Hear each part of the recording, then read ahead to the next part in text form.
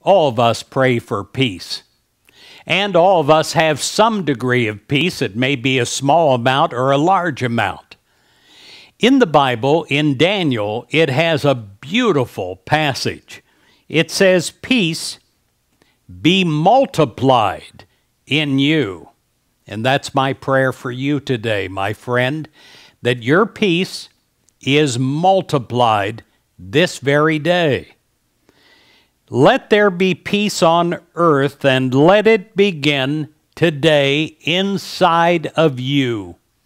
And let it be a God given attribute that you feel, that you can hold on to, that you know because you sense it throughout your mind, throughout your body.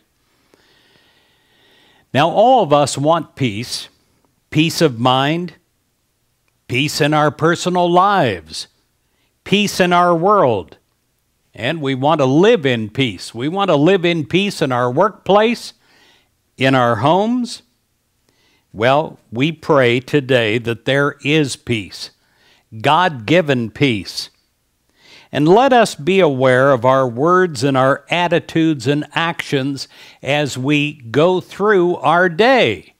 May we be peacemakers wherever we go and spread that God given peace to everyone around us. Let us be loving. If there is a loving word that we can speak, let us speak it if there is some attitude that we can take that will brighten the life, let us take it. Let us say and do what we can this day to bring peace and love into our world.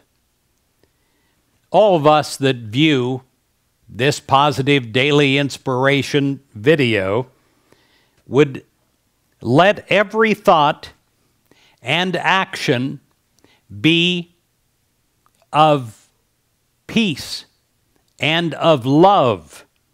Well, if we can think about that being multiplied over and over again by the giver that gives it out, by the receivers that receive and then give it out, no matter where you are, no matter who you are, you can add a blessing to your world, a blessing that everyone needs, a blessing of peace. Let there be peace on earth, and let it begin today in you.